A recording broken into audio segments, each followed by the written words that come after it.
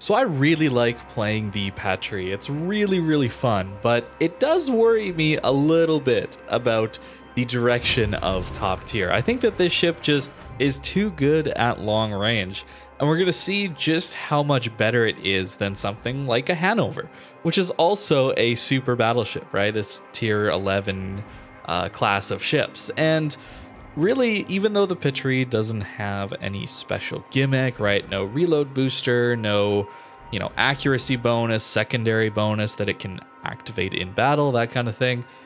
It's just so good at range. Just look at these distances 23, 24 kilometers some of this time. And it's only 13 seconds to lead, which is not all that much. A lot of cruisers are leading that much for 18 kilometer shots, right? So this isn't the hardest salvo to land, especially when people aren't paying attention, of course, right? But it really isn't too difficult. And alongside that, you just have a lot of guns. So even though we have a worse reload and worse Sigma than something like the Republic, 12 guns is always going to feel nice and consistent most of the time. Because as you can see, a lot of these salvos are going to be reasonably accurate. And I can just take up a position like this, nice and safe, near spawn, and I'm able to have huge battle impact. There's only, what, three, four ships that I can't fire at right now, assuming the enemy team would actually get spotted, right? That carrier. And then a few of the ships going up the 9-10 line.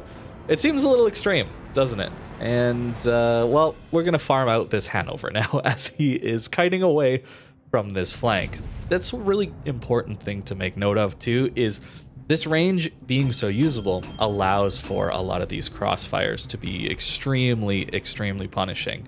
There's a lot of times in this game where you end up showing broadside to some of the enemy team, but oftentimes it's so far away that it's really not that big a deal. With the Patrie, it suddenly is a big deal. And I think that's really the fun to be had here, honestly. I really enjoy playing the Patrie because of this amazing ability to crossfire and get some huge devastating salvos in.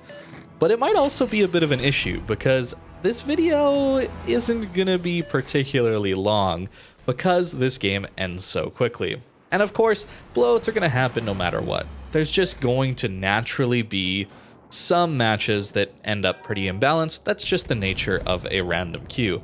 But I think that adding more spotting earlier on, and then ships that are able to deal good, consistent damage with that early spotting, could lead to more of these fast games. So the enemy team has essentially given up the south flank at this point. And if you know me, of course, you'll know that I constantly talk about maintaining at least half of the map under your control. If you give up three quarters of the map, you're going to lose games. And that's what we're going to see here. These enemy team is just going to get crossfired into oblivion. And I don't really know what to change here other than maybe the range is just a bit too much.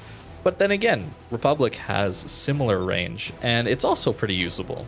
So maybe it comes down to map design. Maybe we need to start seeing slightly bigger maps or even maps with bigger islands that allow for teams to push in and not have to worry about some of these long crossfires. Just notice how this Hanover is just purely in open water at this point. The islands are so clustered and focused around these small central cap zones that a lot of these top tier games feel like you're just playing on ocean with a few little hills to shoot over in the middle of the map a lot of the time. They don't really offer enough protection, and pushing up to them often leads to you taking some huge hits earlier on, since there is that early spotting and very consistent damage coming in. So I don't know, let me know in the comments below what you think we could do or suggest to Wargaming about this issue. Uh, personally, I would love to see some interesting map designs to try and counter this kind of thing where we're just chasing a Hanover into a spawn and there's really not much he can do. We're both super battleships, remember, same tier, should be similar power levels, and this poor guy is not even able to use his secondaries at all this game, I don't think. So the Patrie is a really good battleship. I think we all know that at this point. Unfortunately, it was only available in that auction earlier on, so it was pretty expensive too, but at least once update 11.9 comes, we'll all be able to purchase it the normal way through grinding up XP on the Republic and then just purchasing it almost like it's a tier 11 ship. And I really do think that the Patrie will be worth it once that update 11.9 comes out, just because it's so consistent. 12 guns and a pretty decent reload, good overmatch, and pretty good accuracy. There are issues, of course, where sometimes the accuracy doesn't quite hold up, but that's with all battleships. Even if we had slightly better Sigma, I don't think that would really change the randomness that sometimes battleships have to deal with. And of course, there is always the uh, shells landing short bug, or I'm not sure, just feature of the aiming system. Um, but yeah, this Minotaur pushing out broadside, trying to make something work this game. I mean, yeah, he's just screwed at this point, right? Like, look at his poor, look at his team, right? This poor guy. And it's not like these games are the most interesting from the winning side either. They sure are frustrating from the losing side. I know that. Uh, but even from the winning side, I really don't find these battles to be all that engaging, since it really just comes down to pushing in and mopping everything up. So there goes the Minotaur. Poor guy tried to push in. And we see as the enemy team is starting to push into this cap here, well, I've already got a good angle to deal with that, right? I'm already pushing into their spawn, getting these broadside salvos in. And that really is just GG. So a lot of the time in a lot of these maps, it's really, really bad to give up one flank of the map. And I know that seems obvious, but it's shocking the amount of times where I see people spawn maybe one or two ships, right? on one side of the map, and they just instantly turn and go towards the middle and the other side of the map. Maybe it's this thought that, oh, there's only one or two of us here, I don't want to stay here and die. But there are ways of playing safe, and there are ways of stalling out the enemy team. And maybe if they do still push very aggressively into your couple of ships, they'll push into a crossfire as long as you're able to stay alive on some of those flanks. It's really important to not give up flanks, otherwise games like this happen. Of course, we're trying to take out the carrier here to close out this game and hopefully push us up towards 200,000 damage.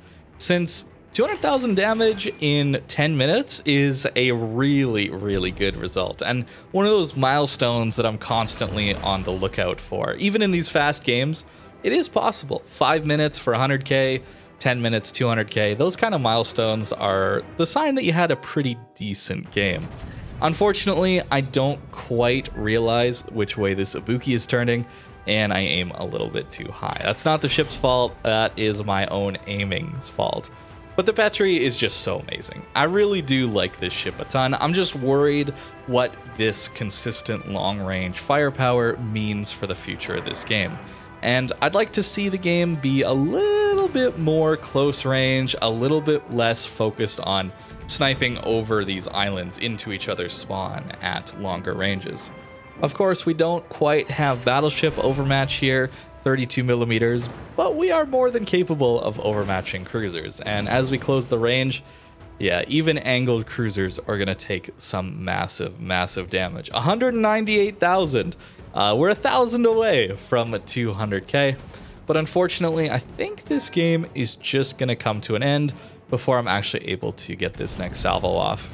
But still, 200k in this kind of a game, I'm pretty happy with that result. Even if I'm not too happy with how quickly the game ended or how little competition there really was. And just like that, 500 damage short from 200k in a blowout. As for the build, we're of course using a standard battleship build. No fancy secondaries here, it's just a standard build because it's a long range battleship. We don't get into brawling secondary range. We want to make the most of our cross-shotting ability, shooting from stealth with concealment, and of course we want to stay alive, so fire prevention is definitely a must. Once you do the get this ship, you should notice that the secondaries are only 100 millimeters, so you're not going to be able to do damage with them. Even with IFHE, it's only a few superstructures you're really going to be able to do damage to. Um, unlike the Republic or the Bourgogne that start to get 127 millimeter secondaries, which start to be much more useful. Um, so the DPM can look pretty amazing with these secondaries, but uh, yeah, keep in mind that they're not the most useful since they're only 100 millimeters. As for the equipment, it's going to be pretty standard again. We're going main battery mod. You definitely don't need more range than what you've got already. And I'm running concealment system. I'm taking steering gears here mostly because I have a speed boost for those situations where I want to get away or use propulsion to speed juke, that kind of thing. Steering gears is nice so that we are able to swing out and get a salvo off of all of our guns, and then swing back in to angle ourselves properly again, since Patrie doesn't have the best armor. Aiming systems mod, engine boost is always good on any French ship, so uh, if you have the coal, definitely make use of that. And to look at the armor really quick, yeah, it's it's French. 32 everywhere. So against some of the other super ships, your weakness is that you're going to get overmatched by all the Satsumas, all the Hanovers, even Yamatos, of course, will be overmatching this ship. Patrie is awesome. It's a really, really fun ship to play. I'm just worried about its impact on the meta, and I'm a little sad that it's only been early access, right, where we only had the um, auction event to be able to get it. But Unfortunately, we got to wait until update 11.9 to actually get it. So thank you very much for watching, and I hope you have a great rest of your day.